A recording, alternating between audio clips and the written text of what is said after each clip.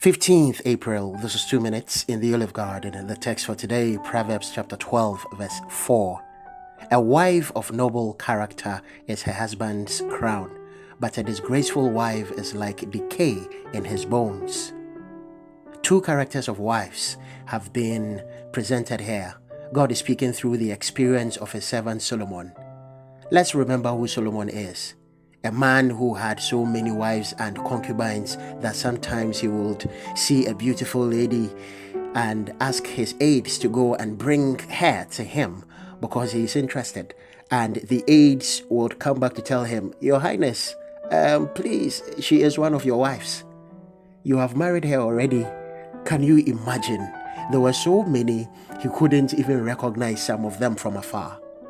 So he is in a very comfortable position as a man of many women to know who a disgraceful wife is and who a noble wife is.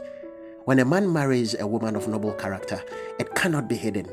The evidence glows all around the man. And if he goes to marry a Botami Kankama, it also shows in the life of the man. But let me elevate this further to the relationship between Jesus, who is the groom, and the church, who is the bride. If we involve ourselves in disgraceful acts, we become like decay in the bones of Jesus. But he will not allow us to bring shame to his kingdom. So he will cut off all disgraceful beings from the church who would bring dishonor to his name. Will Jesus find your character worthy of the kingdom, or he would find it disgraceful for the kingdom?